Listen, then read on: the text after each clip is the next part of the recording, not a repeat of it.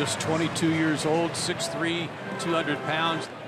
Marco Estrada was traded for Lind, who struck out to end the inning. Wisler versus Braun, and he just struck him out looking. Ryan Braun caught with his hand in the cookie jar. He's out number one in the fourth inning. That attaches to his arm on top of the glove. Good fastball at 95 for Matt Wisler.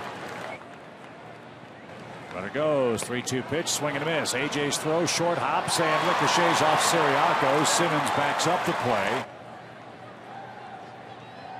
And a swing and a miss. Have a seat. Here's out number one. One two. Struck him out looking. Lind thought it was in the dirt. Gary Cederstrom rings him up.